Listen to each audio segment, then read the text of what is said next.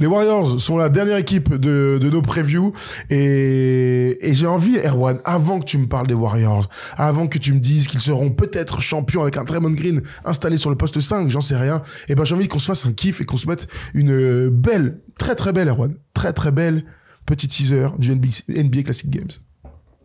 Ah, je t'ai eu, eh ben oui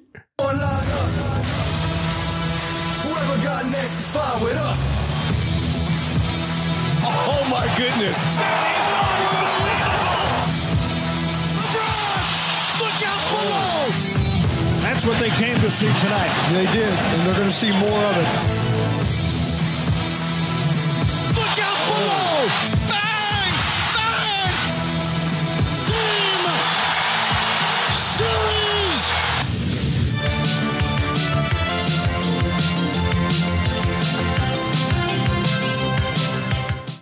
Les NBA Classic Games, donc, à retrouver à 22h dans le Big Monday sur les canaux de First Team, sur YouTube et sur Twitch. Sachez, si vous êtes fan des, des Warriors, on a beaucoup de matchs de Steph Curry et des Warriors. On a notamment euh, un- le mon match préféré. Mon match préféré de saison régulière en 2016, le OKC Golden State. Bref, ce sera très très cool, se diffuser en direct et c'est aussi en replay. Donc on vous conseille quand même d'être en direct, c'est quand même plus sympa. Mais si vous, vous ne pouvez pas, vous avez entraînement, vous avez autre chose à faire, vous êtes trop jeune, eh bien vous pouvez regarder euh, tout au long de la saison en replay. Allez, on parle des Warriors. Euh, Clay Thompson est parti. C'est le début de la fin du cycle. Il y a encore Steve Kerr, il y a encore Draymond Green, il y a encore Steph Curry, euh, bien sûr. Mais le, premier domino de la fin de la dynastie est parti. C'est comme ça que je le vois, le départ de Clay Thompson. Alors oui, de manière numérique, il y a un des trois qui est parti. Maintenant, euh, pour moi, c'est la fin des Warriors. C'est-à-dire que l'année dernière, ils sont pas en playoff. Ouais. Alors on sait qu'il s'est arrivé, euh, c'était Deux arrivé fois, deux fois euh, sur les quatre dernières années, mais il y avait des blessures. Bien sûr. Euh, il manquait, il y avait pas Steph Curry, pas Clay Thompson. On, se- on se souvient de ça. Ça avait permis à Jordan Poole de, de, de, de commencer de lancer, de lancer sa carrière. Mais l'année dernière, ils vont pas en playoff. Euh, ils perdent en play-in face à Sacramento. Et, et ça, pour moi, quand tu es champion en 2022 et qu'en 2024, t'es pas en playoff à la régulière, comme on dit, c'est que pour moi, la fin de cycle, elle est, dé- elle est déjà orchestrée. Et l'été qu'ils ont fait, Dis-moi l'été que tu as fait, je te dirai qui tu es. Et Ah. tu- Et tu es une équipe freinée, mon frère. hein. Oh non. Je te le dis direct. Et Non, mais c'est vrai. Alors aujourd'hui, heureusement qu'ils ont encore un joueur all-time, un joueur extraordinaire qu'on va avoir envie de voir jouer. Mais moi, l'été des Warriors, ils ont un petit peu tout raté. Mark Cannon, finalement, le Jazz, ils ont pas réussi à les convaincre. Il a pas bougé. Ils ont raté Paul George. Euh, j'ai l'impression que ça reste quand même. J'ai l'impression que c'était quand même une franchise euh, attirante de se dire de jouer pour les Warriors avec le- cette culture de la gagne. Cet été, ils ont attiré Buddy Hield entre autres. Ils ont attiré, euh, euh, je sais plus, sais plus qui d'autre. On va voir. Mais euh, bon, voilà, l'été euh, de McDonnell Jr. Waouh Pas cadeau en tout cas le, le, le taf. euh, On va le voir le roster. Moi vraiment, pour moi en fait, quand j'ai bossé l'émission là, je me dis, je regarde, je le savais, je me dis, non mais en fait c'est la fin des Warriors. C'est la fin. Le seul kiff aujourd'hui, ça va être de voir est-ce que Draymond Green va bien se tenir et, et, et Steph Curry va nous encore faire des highlights et faire des cartons qui vont nous régaler. On a vu euh, leur bilan l'année dernière, 46 victoires, ce qui est loin d'être dégueulasse. En revanche, ils finissent dixième de la conférence Ouest et ils ne passent pas le play-in. Ils sont fait ouvrir dans un dernier match de saison assez terrible pour les Warriors par les Kings. On se souvient du 0-10 de, de Clay Thompson. On va regarder les arrivées, donc dans les, les départs, les départs d'abord. Les départs, parce qu'on parlait de ça, Clay Thompson donc va à Dallas. Ça fait trop chelou de le voir avec son maillot, mais ça va être cool. Chris Paul était l'année dernière. Bah, ce sera pff, vraiment, on n'en parlera plus jamais, je pense. Hein. Darius Saric et le backup de Jokic. Lester Quinones est encore là, il est partout ce mec. Ousmane Garouba est euh, back euh, au Real Madrid. Euh, Jérôme Robinson et lui à Saint-Quentin. Oui, oui, vous ne rêvez pas. Il est à Saint-Quentin, il taffe. Il sera, euh, il sera sur Tout à dimanche à 19h pour affronter Lasvel, associé sur un bas court avec Nolan Traoré. Voilà. C'est ça, ça c'est les ponts euh, First Team, ça c'est vraiment. le gars il est dans un tableau, paf, il se retrouve euh, en direct sur Dazone, Commenté commenté par, par Tom, commenté par Tom Serabino et moi-même. Tout à fait, Tom Serabino qui est notre commentaire attitré de basket euh, chez euh, First Team. Euh, Bravo. C'est quand on est malade. Théo Malédon, bien sûr aussi, et Nolan Traoré, la famille. Allez. Vrai duel, hein. Ouais, vrai beau duel. On enchaîne avec les prolongations. Euh, si vous non, les, les arrivées, plutôt les arrivées, pardon. Les arrivées, Buddy Hield, Carl Henderson, Kevin Knox, J. Anthony Melton, Linda Waters III et Quentin Post qui travaillent, comme son nom l'indique, en NBA. Euh, les prolongations, on va enchaîner comme ça. Stephen Curry, une année 62 millions, le max du max du max. Pour Steph qui, vous vous souvenez, il y a quelques années, était le meilleur contrat de toute la NBA. Il s'est bien rattrapé depuis le bon vieux Stephen. Le roster, on avance parce que, euh, tu vois, je vois le, je vois l'heure déjà, et puis en plus, je vois le, comment ça s'appelle, le liner, euh, l'après-dynastie. Donc, tu vois, côté Quito, là, ouais, eh bien, on, on se pose même plus la question, on y va à fond. Steph Curry et, et Poziemski seront les deux meneurs de jeu. D'Anthony Melton, Bud Hill, Gary Payton the second, Lee DeVitus the, third. Jonathan Kuminga, j'ai hâte d'en parler. Andrew Wiggins, Moses Moody, Guy Santos. Draymond Green, Kel Anderson, Kevin Knox. Et, donc à l'intérieur, à l'intérieur, il devrait, il devrait normalement installer dans le 5 majeur Trace Jackson Davis qui était bon l'année dernière, Kevin Looney, et donc Quentin Post qui travaille en NBA comme son nom euh, l'indique. Alors, première question, Erwan. Euh, tu dis que c'est la fin de la dynastie. Pour toi, on est vraiment, ils ont fait le choix. C'est une bonne question. Est-ce qu'ont-ils fait le choix Moi, je crois pas. de tourner la page? Moi, je crois pas. hein. Moi, je crois pas qu'ils ont fait le choix. Par contre, on le savait, on l'avait dit il y a quelques années, qu'il y avait un virage à prendre à un moment donné. Cette équipe-là, elle s'est retrouvée avec un, un- avec tout devant elle, avec une équipe qui pouvait être ambitieuse. Ils ont, réussi- ils ont réussi à aller gagner un titre en 2022. Et ils avaient des jeunes. On se souvient de la draft de Wiseman, Kuminga, Moody qui est arrivé, qui- qu'il fallait intégrer pour continuer à rester, euh, pour continuer à rester euh, compétitif. Et là, il y a un homme qui, à mon, à mon sens, à mon goût, a un petit peu tout fait à l'envers, n'a pas du tout réussi à prendre le, le- à prendre le bon virage de, de, de ces jeunes-là. Et déjà, pour moi, le premier échec Wiseman, même si au début on s'en rend pas compte, James Wiseman, ouais. en fait, c'est le début pour moi déjà de, de, de on, avait, on était tellement habitués avec cette franchise-là de- depuis leur premier titre et même la construction autour de Draymond Green, de Stephen Curry, de, de Klay Thompson, de dire ouais, tout ce qu'ils font c'est parfait. Ils vont chercher des vétérans, ils prennent un mec, il en... tout tout fonctionnait bien. Et pour moi, quand le premier mauvais choix de draft ou, ou le choix de gestion, parce que on sait, elle est pas claire cette histoire autour de, de, de Wiseman, eh ben, on se dit ah ça commence peut-être un peu Pourtant, c'est l'année aussi où il gagne un titre. Hein. ils vont Il là, gagner. Wiseman, ils, vont, hein. ils vont gagner. C'est ils vont- fou. ils vont- il est sur le banc, il joue pas. Ils vont gagner un titre, mais en fait, pour moi, c'est le. Derrière, il y a, il y a un souci. Kuminga, il met du temps à le mettre. Moody, je, je, je comprends toujours pas son comment son utilisation. Et c'est et finalement, tu vois, le, le temps passe, le temps passe, le temps passe. Et pour moi, c'est pour ça que c'est terminé. C'est qu'aujourd'hui, c'est pas, ça va pas être une équipe des bas-fonds. Mais c'est une équipe aujourd'hui, moi, qui ne peut, qui ne peut rien espérer de mieux qu'un qu'un play-in. Comme Et beaucoup d'équipes de la conférence ouest, honnêtement. et on en revient, on en revient à ce qu'on dit de, de, de, de beaucoup, c'est qu'aujourd'hui, Steph Curry va pouvoir encore mettre des points, va pouvoir quasiment tourner à 28, 29 par match, 30. Mais par contre, il peut plus emmener son équipe dans le top 3 de la ligue. Il peut plus. Draymond Green est complètement cinglé. On l'a vu l'année dernière quand même. Et, et, et- pour moi, le, dé- et le départ en plus de Clay Thompson, c'est pas juste le départ d'un joueur. C'est pas juste le départ d'un joueur mythique. C'est aussi le, la fin d'une philosophie, la fin d'un système. Parce que Clay Thompson, il amenait du spacing. Et ce spacing, il profitait à Draymond Green, qui pouvait driver, qui pouvait faire de la passe, qui pouvait créer du jeu, et évidemment Steph Curry.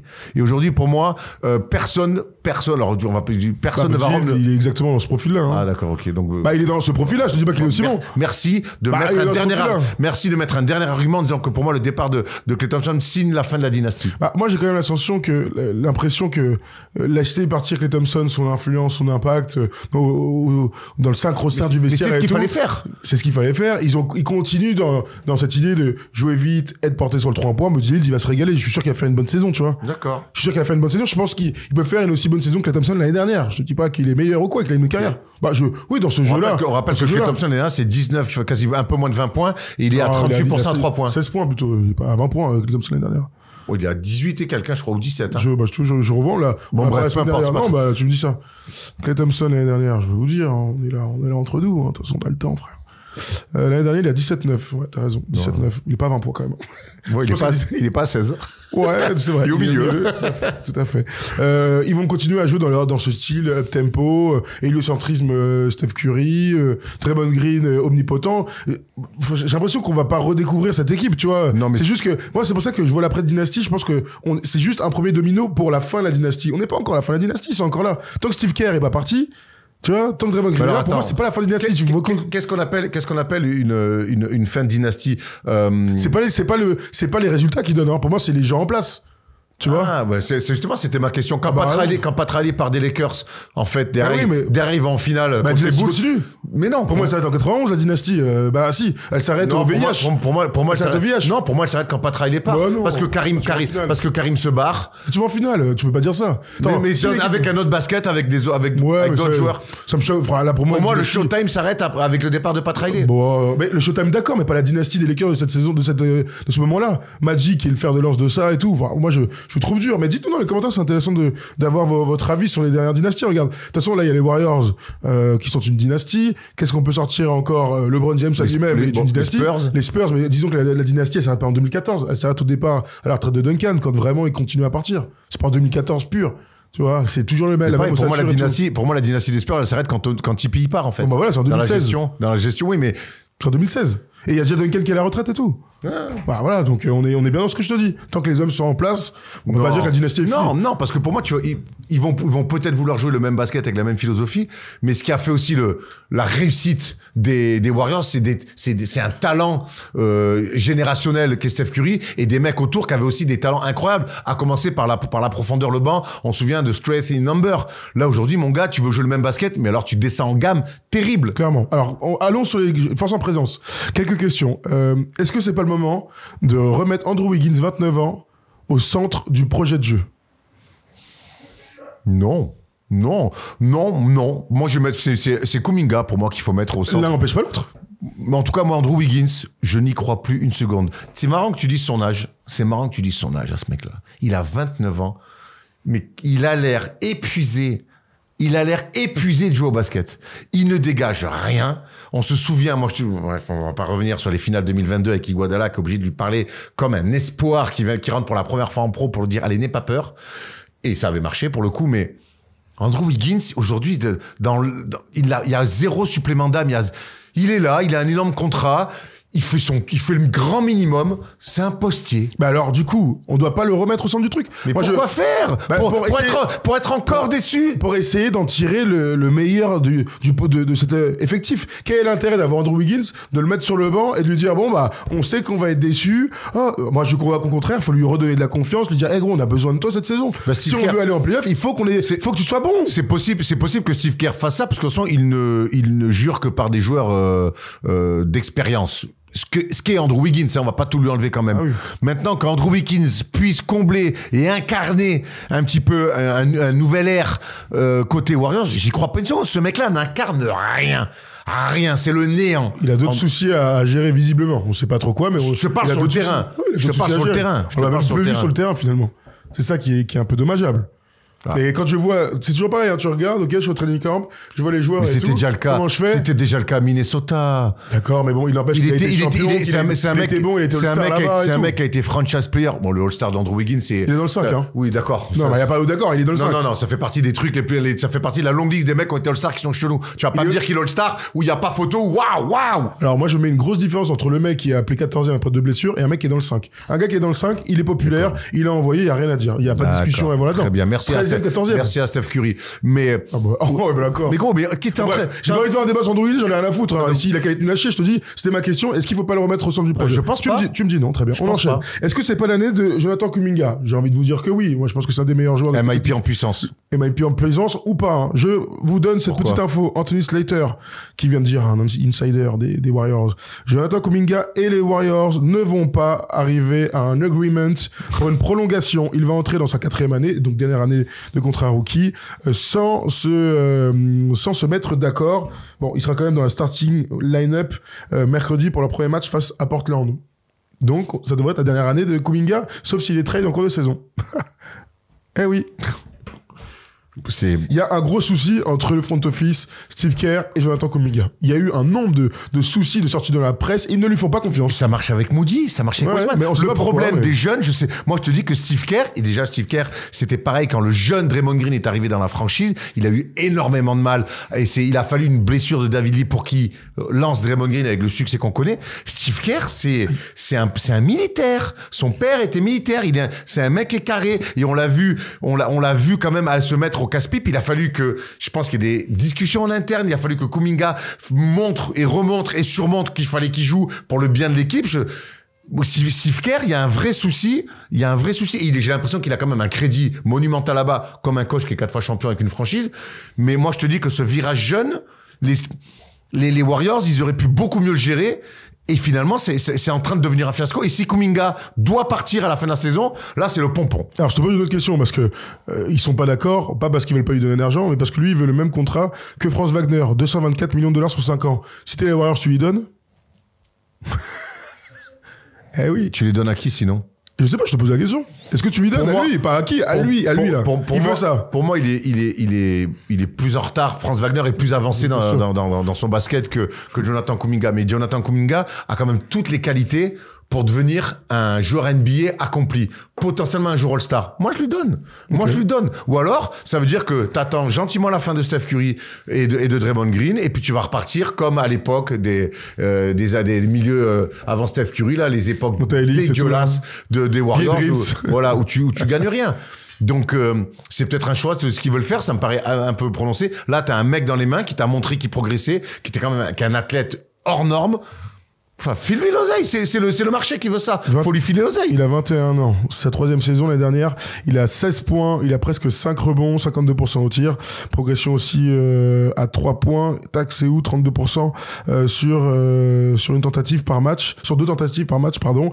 Euh, on espère tous que là, En fait, ils sont à 20 points. Moi, j'en suis Mac- sûr. Hein. Mike Dunleavy, il faudrait qu'on m'explique. Donc, Mike Dunleavy, le GM hein, de, Ouais. des, des, des Warriors. Qu'on trouvera dans le Classic Game. qui euh, bon en plus. Euh, donc il ne prend aucune décision. Il ne veut pas donc filer une prolongation à Clay Thompson. On veut les vieux, il est, cramé, ça marche plus, ok. Mais derrière, il veut pas refiler du pognon non plus aux jeunes qui peut, qui peut prendre le relais justement de ces mecs qui partent. C'est quoi qu'est-ce que tu veux faire en fait? Où tu vas? Que fais-tu? Honnêtement, Bob Myers, il a- c'était l'assistant de Bob Myers. Je sais pas ce qu'il, il a dû sécher les cours. Hein. Je comprends. Je, est-ce que tu comprends toi le projet de et les choix qui sont faits par euh, Dunleavy Jr. Moi, plus que, plus que les choix, c'est euh, l'incompréhension sur, la compréhension sur euh, le fait de pas amener des nouveaux mecs, donc par trade. Euh, Ils ont du matos, ils ont des gars envoyés et tout. Comment Mark Cannon, il est pas dans l'effectif? Ça, c'est ma grande, ma, ma grande question, c'est comment ils sont pas allés chercher, par trade, hein, un nouveau mec. Alors, je pense qu'Andrew Wiggins, il n'y a pas grand monde qui, qui en veut, hein, mais il a pris, il y a eu aucune prise de risque. Jusque-là. Il a laissé partir que là comme ça. Il, quitte à le. Tu te souviens, il y a un an, on s'est dit peut-être que c'est le moment pour euh, échanger Draymond Green. Il était en fin de contrat en plus, fallait le laisser partir. Non, ils l'ont prolongé. Alors Clay Thompson, on va le finir comme ça. Il a, il a servi à rien finalement. Il a, il a- ils ont rien eu en échange. Donc moi, c'est plutôt dans, dans l'idée de reconstruire un petit peu l'équipe autour de Steph Curry. J'aurais préféré qu'il le fasse il y a un ou deux ans. En prévu, en anticipant, sachant que l'année dernière il est arrivé. Et en général, les, les, les GM quand ils arrivent, ils veulent marquer, euh, ils veulent marquer leur- le coup de leur arrivée. Tu fais un truc, tu vois, tu fais un truc. Lui, En il a fait- été dans la continuité. En fait, Bob Myers, il a, il, il, il a, il a quitté son poste, on se souvient, pour dire parce qu'il va falloir faire des choix Oui, tout à fait. radicaux que je ne veux pas faire. Il a mis un gong, gros, il fait zéro choix. Non mais c'est, tu te rends compte? Le- il fait le choix de la continuité. Mais Ouais. même pas Bah, Parce que si, c'est une continuité. Choix, Clé, Clé-. Clé qui se barre, c'est pas la continuité. Euh, pas filer d'oseille Bah. à, à Kuminga, c'est pas la continuité. Oui, la continuité, c'est de signer Draymond Green. Je sais pas, 200 millions, Erwan. Moi, c'est. Je vous ai mis le sondage. hein. Est-ce que vous donnez 200 millions à Kuminga Ça m'intéresse. Parce que ça change tout. Si t'es face à un mec qui dit, eh, moi, c'est 200 millions ou rien, bon, bah, t'as le droit d'être intelligent et pas lui donner. Tu vois, c'est toujours pareil. T'as le droit de pas les donner aussi, hein. Sachant que, on rappelle que les, Warriors ont eu à un moment donné la plus haute euh, masse salariale de toute l'histoire, qu'ils ont été obligés de, dégraisser, et que même si euh, San Francisco c'est un bête de marché, les Warriors sont richissimes, c'est des, euh, des franchises les plus valorisées de toute la NBA, bon, tu, tu peux pas avoir 50 mecs à, 30 à plus de 30 millions. Tu vois, il y, a- tout ça à prendre en compte. Bon, je- C'est qui avait signé Wiggins aussi? Euh, Wiggins, non, je crois pas que c'était l'année d'avant encore, C'était encore, c'était Bob Myers encore. Hmm, J'ai un doute, je sais plus. Bref, ça change pas grand chose. Euh, retournons au roster avant d'accueillir euh, Walid. Tu quoi, même on va accueillir Walid, on va se régaler. Walid euh, qui nous, qui nous a appelé, on va parler un peu des objectifs, euh, sauf si tu veux rajouter des trucs sur euh, Podziemski, etc. Mais je connais ton Non, on aime bien, on aime bien, on aime bien. Ils aiment bien. Bah écoute, on va, Jackson Davis, on adore. On va voir sa progression. on va Bravo. accueillir Walid, on va parler donc des objectifs de cette saison pour les Warriors, même s'il y a Guy Santos quand même que j'aimerais, sur lequel j'aimerais qu'on s'arrête. Salut Walid. Salut les frérots, vous m'entendez bien? Ça va, Walid? Ça va et vous? On Tout à fait. on Alors, il y a quelqu'un qui nous dit que Clay, c'est un silent trade. Oui, euh, frérot, c'est un silent trade. Vu ce qui vous avez vu ce qui est rentré, un second tour de draft, les frérots. Il y a rien, quoi, en échange. Bon, bref. Walid, alors, qu'est-ce que tu penses de, de cette intersaison des Warriors? Bah je comprends pas grand chose. Il s'est rien passé, il se passe rien. Moi je suis complètement de l'avis de de Erwan. Pour moi, fin de dynastie euh, totale, totale. Tout à l'heure, tu disais, euh, Tom, que, que les Spurs, la fin de dynastie, elle n'est pas en 2014 quand ils gagnent le titre.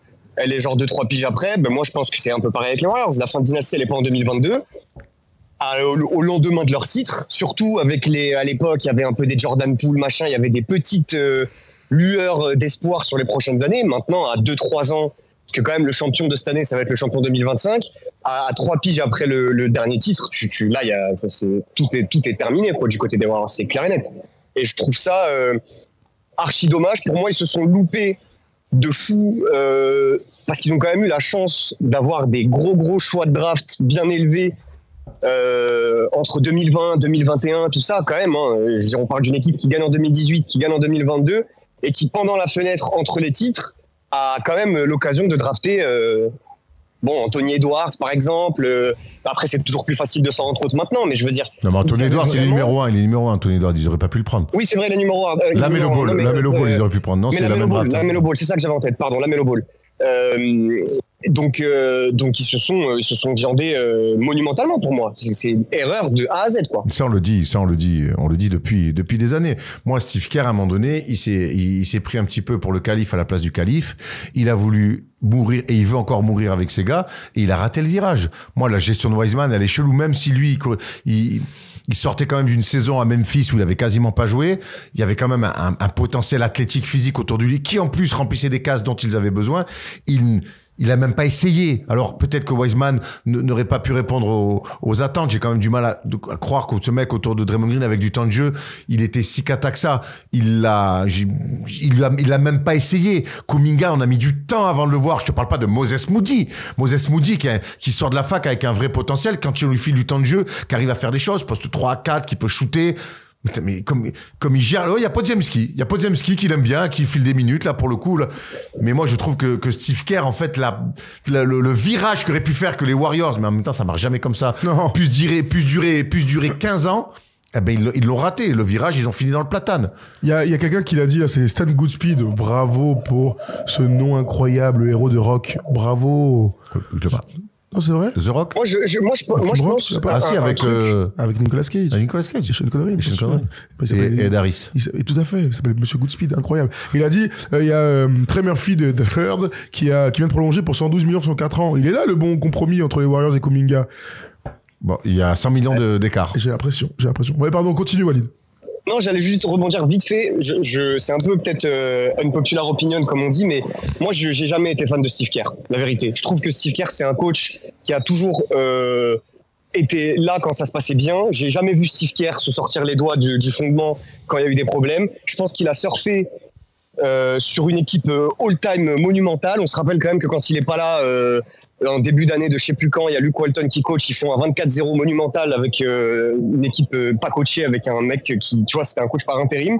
Donc Steve Kerr, il a jamais vraiment euh, sorti son épingle du jeu quand il fallait le faire, je trouve. Vraiment. Moi, j'ai du mal à dire ça des mecs qui sont. euh, Ouais, moi, je, moi, ce que j'ai envie de dire sur. Steve Kerr, c'est qu'il a su parfaitement s'entourer avec, oui, champion, il, les a Exactement. chose. Mais Steve Kerr, champion, Steve, les Steve, gars. Steve Kerr, si on veut tirer, si on veut tirer, si on veut, si on veut Putain. tirer sur, sur- si on veut tirer sur le, sur l'ambulance, euh, le, taf, euh, le taf, il est d'abord fait euh, par Mark Jackson, puis ensuite, euh, il récupère quand même une équipe. Mais gros, tu peux rigoler, Quatre fois champion, les Je m'en bats les couilles qu'ils soient quatre fois Mais champions. comment on me dit, je m'en bats les couilles, il est 4 fois champion. Moi, je veux pas tout lui enlever. Il est parmi les meilleurs coachs de l'histoire. D'accord. Donc, en fait, le, Quatre début, fois le champion. début de l'histoire des Warriors, il est avec qui? Il est avec Mark On Jackson. ça. Eh ben donc, alors donc, donc Collins, Phil Jackson doit tout, don- doit tout, comment dire, il doit, alors, je sais pas, il Tout doit donner? tout, non, pas tout donner, il doit tout, oh comment, bon, je, je perds mes mots. Non, mais Il, attends. il doit, il doit, il- non.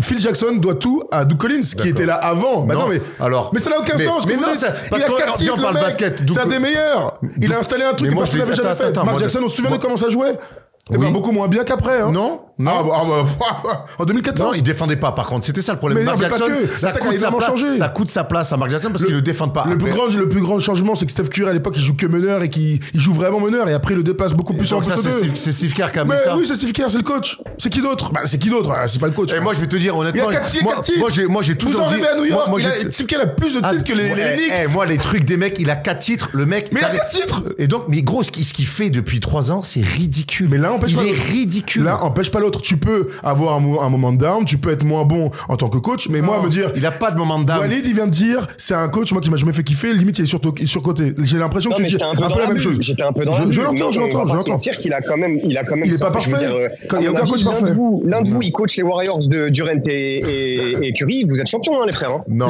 ça, ça, ça, ça, Non, ça, ça, Phil ça marche pas comme ça. Jackson, il se fait sweeper en 2011. Sale, mon gars, sale. Ça fait, c'est, l'histoire des coachs. T'es jamais bon. Même Rad Rad Auerbach, il a dû perdre un titre une fois avant. Quoique, Eh, eh. ça fait partie du jeu. Et le problème de Phil Jackson en 2011, c'est qu'il n'a pas une équipe qui est encore compétente, que, compétitive, et il n'a pas des jeunes, des bons jeunes avec qui, avec qui il peut amener déjà la suite. Qui ça Moi, Phil Jackson Phil Jackson En en 2011, c'est la même équipe qu'en 2010. Phil Jackson, tu parles Avec les Lakers Avec les Lakers, avec Nash et tout là. Mais non, c'est plus tard, ça, non? Non, de- donc c'est l'année où ils se font souper par. euh, C'est l'année d'après, ça, c'est en 2012. Non, mais c'est Bah, pas ça n'a rien à voir. C'est rien même à pas- voir. c'est Mike Brown, le coach je tout. Steve Kerr, il est champion. Oh, Il est- Steve Kerr, on a le droit de se poser des questions sur le fait qu'il y avait un bon coach avant lui, qui a commencé à avoir des résultats, qui a, su mettre des mecs en confiance. On peut aussi dire que, ben, oh, l'année où il se pète le dos, où il, il fait pas les trois quarts de la saison, ils font 73-9. C'est quand même pas un hasard. Qui coach en finale, il mène ouais. 3-1. Alors oui, Draymond Green, il met des coups dans les burnes, mais tactiquement, quand même, on a, on, Et 2022, alors, du coup bah 2022, il- mais en fait, moi, moi Steve Kerr. je pose non, des questions. Non mais, non, mais tu fais bien de poser des questions. Moi, Steve 2022 Kerr, alors. moi, Steve Kerr, par son palmarès, par le jeu proposé par les Warriors, parce que c'est l'entraîneur. Euh, et ce qui est fou, je me retrouve aujourd'hui à essayer de, à, à quasi détruire Steve Kerr, alors que pour moi, c'est un mec à qui j'ai donné toujours énormément de crédit pendant la belle période des, hum, des Warriors. Et là où je rejoins Walid, c'est que quand ça va mal, et on l'a vu avec Timo Husset, je t'en parle même pas, c'est, moi, j'aime bien quand les coachs arrivent à se réinventer. Pat Riley, il fait le Showtime des Lakers, il arrive aux Knicks, il change de style. Il arrive à Miami, il garde un peu le même style brou- brouillon, euh, dur euh, en défense, mais il fait. Lui, il là, gagne pas pour autant, tu vois ce que je veux dire Il gagne pas pour autant. Pat Riley, c'est peut-être le plus grand de tous les temps, on peut en discuter. il, il fait Il une finale, il, fait, il fait une finale avec les Knicks à, à une époque où il y a Olajuwon et Jordan, et, il- et il gagne avec Miami. Qu'est-ce que tu racontes? Mais il gagne quoi? Oui, il gagne avec Miami en 2006. Il attend 15 ans pour gagner. Moi, je vous dis juste que là, vous êtes en train de tirer sur un mec. Moi, je veux bien vos histoires de quand ça va pas mal. En 2015, il remet Godola dans le 5 et ça fait basculer la saison. Je peux vous C'est donner. même pas son idée Mais on s'en fout, c'est lui qui prend le. Attends, mais c'est pas son idée, ça veut dire quoi? C'est pas lui le Donc coach il est bien entouré. Mais non, il prend les bonnes décisions. Eh, tu sais, quand t'es coach, t'as- ils sont combien les assistants? Je sais pas, ils sont 30 les mecs. Et on leur dit ah bah tu peux faire ça, tu peux faire ça, tu peux faire ça, tu peux faire ça. Au bout d'un moment, il y a un Le mec, qui la dit on va mettre Qui la Iguodala dans le décision. 5 parce que Mosgoff, on va l'exposer. C'est pas son idée ça Mais c'est lui le coach. C'est l'idée de qui alors? C'est un, c'est un clampin du, du Midwest qui lui a écrit une lettre. Qu'est-ce que tu racontes Non, mais c'est un de ses assistants. mais c'est, mais c'est qui qui prend la décision? Ah ouais, donc c'est vraiment une décision. Là, on est vraiment en train de détruire Steve Kerr. Steve Kerr, il va aller au panthéon des coachs, il Mais- en a 4.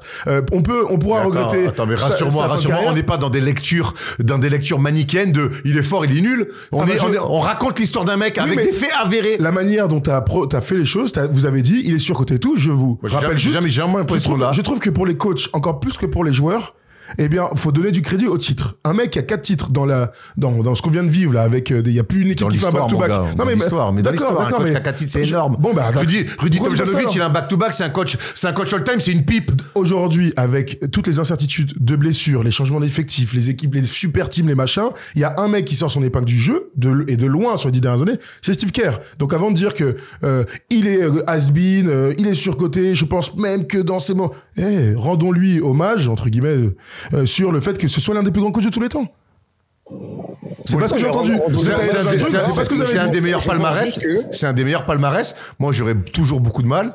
Je mets des Phil Jackson. Bon, Red Auerbach, j'en parle pas. Je mets des Pat Riley devant lui. C'est des préférences, Moi, ça. moi, moi, moi, j'ai même plus, plus de, d'empathie et de respect pour le travail d'un Rick Spolstra. Je te le dis, sérieusement. Mais t'as le droit, t'as le droit. Et à côté de ça, Après, il a un y a palmarès. aucune autre équipe, là, toutes les équipes que tu viens de citer, il y a aucune autre équipe que celle de Steve Kerr qui m'ont fait kiffer dans le jeu, comme celle des Warriors. Donc, je- j'entends, et ils ont eu les résultats avec. Steve J'entends. Kerr, t'as oublié qu'il est GM aux Suns, qu'il est, qu'il, fait un travail Ben, honteux. Et tu entends que Phil Jackson il a été un président des opérations basket Après, de après, mais ça, oh, après. mais ça veut rien dire après, avant, après, avant. Ça, tu veux faire dire ce que tu veux d'une carrière. Moi, je prends juste les faits et je me dis, j'ai kiffé l'équipe. Il a réussi à mettre l'un des meilleurs joueurs sur, euh, sur orbite, ce qui n'était pas le cas avant. Vrai. Bah oui. Vrai. On parlait dans, est-ce qu'il est dans le top 10 s'il y a pas Steve Kerr? Lui, il a trouvé son coach. LeBron, il a même pas trouvé de coach dans sa carrière. Ah oui. Non, mais Il voilà. a pas donc, besoin, euh, apparemment. Il, a- il est plus fort que ça, a priori, mais voilà, les mecs, ils trouvent des coachs, et là, on est en train de dissocier, limite. Ah oui, bah, ils auraient gagné sans Steve Kerr. Mais non, les gars. Je- Alors ça, c'est les mots qui appartiennent à disons- Ah. Dis- dis- disons, disons juste que tu as vu ce qui te faisait kiffer chez les Warriors, euh, Thomas, comme tu as dit. Moi, je trouve que la série qu'ils font contre les Clippers, là, l'année d'avant, euh, où Steve Kerr vient euh, avec Mark Jackson, il y a quasiment euh, 70% de tout ce qu'il va y avoir après aux Warriors, qui est déjà là. 70%. Waouh. Ouais, je pense vraiment. hein. Draymond Green, il, joue, il est déjà le, ce 4 un peu euh, magnanime qui touche à tout. Non, il y a David Draymond-. Dr- Draymond Green, il- Draymond Green, il arrive, Walid, vraiment là pour le coup. Draymond Green il arrive l'année, euh, la première année de, de Steve Kerr. Et, euh, David, et, il est- et David est titulaire. et est c'est quand quand il se pète et tout. C'est d'avant. après, après, après. Il est au l'année il est là dans la série contre les Clippers, non Non, mais il est là, mais il est, Il est là, sur mais- le banc et il joue, tout. il joue très peu. trois, en fait, il- il s'installe avec Oh, Steve Kerr. Il s'installe avec Steve Kerr. Bon, c'est pas grave. je Mais attention, attends, pour moi, t'es quatre fois champion. Et moi, j'ai souvent, en plus, défendu Steve Kerr par rapport à des mecs qui lui tombaient Ah oui, dessus. attends, sondage. Je vous mets un sondage. Il y a un mec qui a dit sondage. Mais est-ce que vous voulez quoi comme question que je, que je fasse Mais non, pas mais- Parce que j'allais mettre, j'allais mettre Steve Kerr sur côté. Mais bon, je vais pas mettre ça, Non, c'est un peu mais abusé. c'est- c'est- Dis-moi quelle question tu veux qu'on pose. Moi, en fait, en fait, pour, pour, pour, pour, pour remettre un petit peu. Dis-moi la question, après tu dis ce que tu Non, je m'en bats les ta Ah question. Donc je me suis. Apparemment, il est sur côté, donc je vais le mettre. Donc, ce qui est, ce qui est fou avec Steve Kerr, c'est que j'ai ja- rarement eu ça avec un, avec un coach en place. Après, euh, Phil Jackson, il a été GM, donc il foutait la, la Nonix, mais il était GM, il était pas coach. C'est, j'ai jamais eu autant de, de, de, de, de respect pour un coach en me disant, putain, mais qu'est-ce que tu me fais kiffer, mon gars? Mais waouh, le basket que tu proposes, tu sais bien t'entourer, t'as mis quelque chose en place. Après, c'est vrai que l'année où il est blessé au dos, on commence à se dire, oui, bon, en fait, j'ai l'impression que ça roule tout seul. Bon, ok. Bon, bravo. Basket, kiff.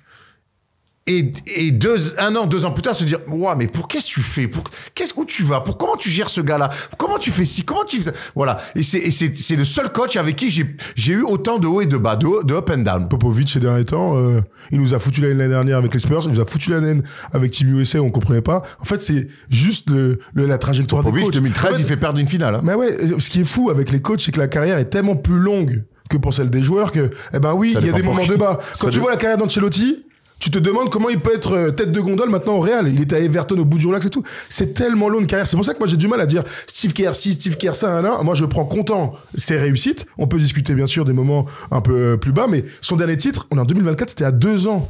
Donc moi me dire là aujourd'hui Steve Kerr, euh, c'est plus le bon mec, c'est plus le truc. chef, chef. Ah, chef. j'ai- ça me, Euh, je me dis quand même que le dernier mais argument, l'esprit est court. le dernier argument sur Steve Kerr et c'est le plus récent, c'est qu'il est champion olympique et ça, il a chaud et, il s- et- et merci, merci, merci euh, Steph Curry. Et Parce que sinon, t'as l'une des équipes de, de mut, les plus grandes équipes mais- de l'histoire de, de Team USA et t'as deux doigts de passer à la trappe parce qu'heureusement que ton petit kiki, il te sauve, il te sauve la miche. Ah. C'est la beauté, Voilà. de, c'est la beauté des si. Hein. c'est que là, tu me parles d'un truc qui n'existe pas. hein. Oui, tu oui, peux oui. écrire un roman. Si, pas si la si de écrire un, roman. un. Il le on sait, est en août le sait. 2024 Oui, il et le la. Serbie a battu Team USA. Qu'est-ce qui se passe après Tu vois, le maître du haut château, je vais t'appeler comme ça. On va voir. Vas-y, fais ça. Pas faire jouer on Tatum. C'est le seul coach de Team USA qui a, qui a trop de stars. Il est obligé d'en bencher. Il est obligé d'en bencher comme s'il y avait Herman Abotret dans l'effectif. Ouais, Enfin bon, arrête, prenez-moi la tête, il prenait un mec de NCAA et puis il le mettait dans non, l'effectif. Bref, sachez qu'il est 21h52. Alors, cher euh, Walid, pas merci d'être venu défoncer Steve Kerr. Parce que, du coup, on a, on a un débat enflammé, c'était pas du tout prévu. On n'a pas dû parler du, du reste. Je voulais quand même que. que- si, je, je veux quand même. Allez, vas-y.